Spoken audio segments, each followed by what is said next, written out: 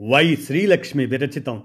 అమ్మ భాష అస్తిత్వం అనే అంశాన్ని మీ కానమోకు కథ వచ్చిన శ్రోతలకు మీ కానమోకు స్వరంలో ఇప్పుడు వినిపిస్తాను వినండి. అమ్మ భాష అస్తిత్వం. ఇక వినండి. అమ్మ నుడికి అపకారం జాతి ఉనికి ప్రశ్నార్థకం. భాష ఒక జాతి ప్రజల అస్తిత్వానికి చిహ్నం ప్రతి భాషకు తనదైన విశిష్టత ఉంటుంది. అది దానికి ఒక ప్రత్యేకతను ఇస్తుంది. నేటి ప్రపంచీకరణ యుగంలో ఎన్నో భాషలు క్రమంగా కనుమరుగవుతున్నాయి. ఇది ఆందోళనకర పరిణామం.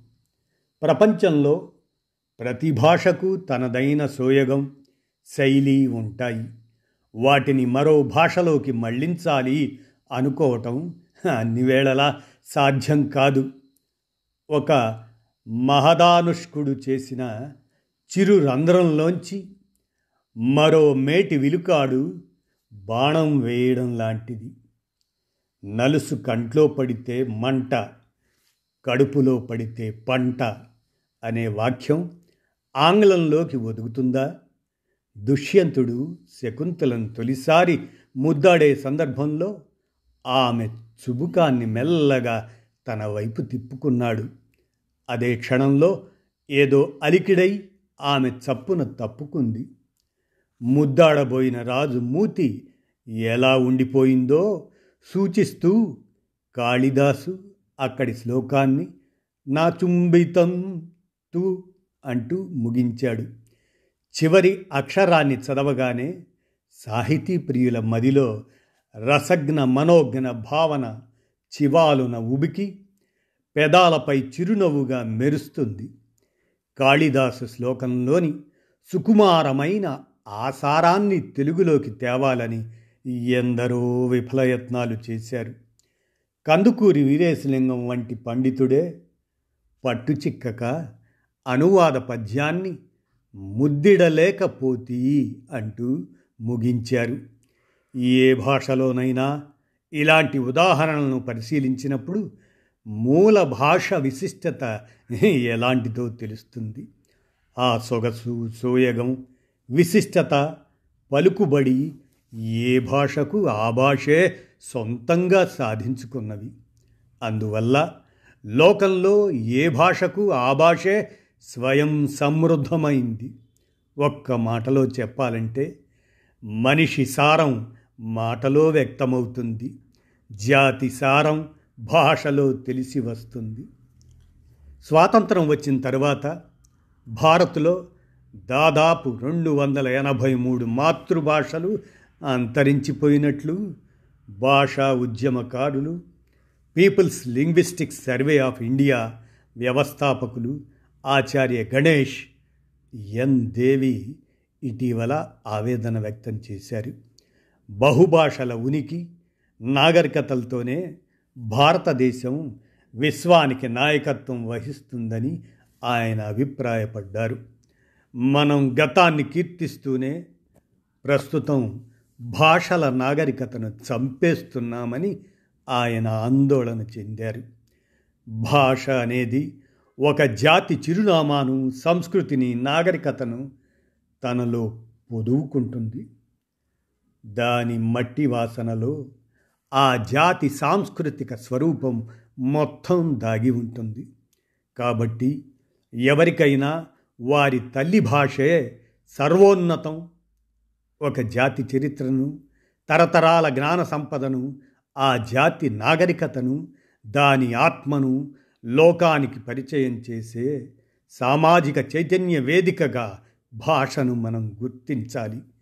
కొన్ని వేల ఏళ్ళ చరిత్ర గల ఒక భాష మరుగున పడిపోయిందంటే దాని ద్వారా తెలిసే ఆ ప్రజల సంస్కృతి చరిత్ర ఆ భాష ద్వారా మాత్రమే ఊహించగల వ్యక్తీకరణలు అన్నీ తెరమరుగవుతాయి. ఆదివాసుల అనుమతి లేకుండా వారి పుట్టుపూర్వోత్తరాలపై డిఎన్ఏ పరీక్షలు చేయడం సరికాదు అని ప్రొఫెసర్ గణేష్ వ్యాఖ్యానించారు.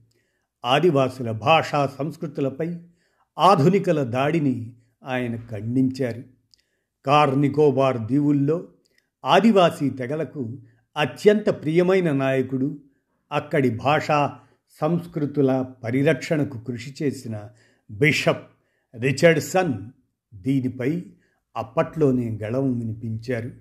బాబు రాజేంద్ర ప్రసాద్ రాష్ట్రపతిగా ఉన్నప్పుడు ఆయా రంగాల్లో రిచర్డ్సన్ చేసిన విశేష సేవలను గుర్తించి భారత ప్రభుత్వం ఆయన్ను రాజ్యసభ సభ్యుడిగా ఎంపిక చేసింది.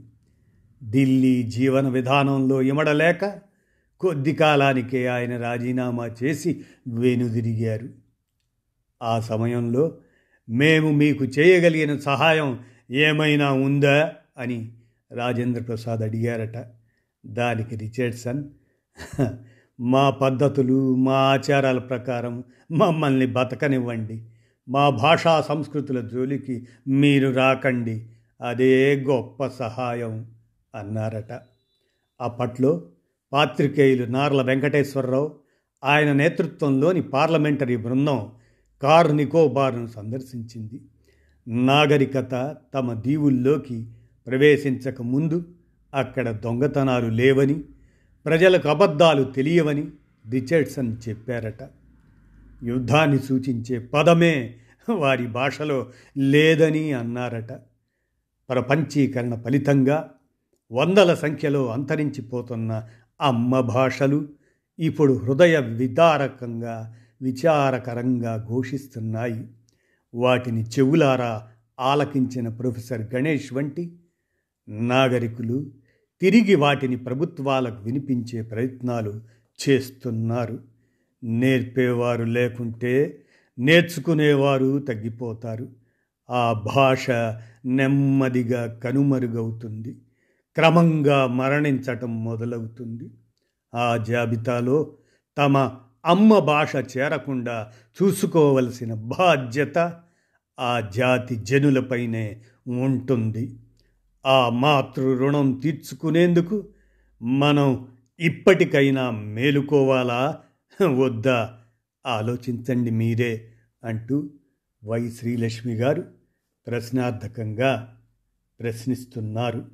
అమ్మ భాష అస్తిత్వం అనేటువంటి అంశాన్ని వై శ్రీలక్ష్మి విరచితమైన దాన్ని మీ కానమోకు కథ వచ్చిన శ్రోతలకు మీ కానమోకు స్వరంలో వినిపించాను. విన్నారుగా. ధన్యవాదాలు.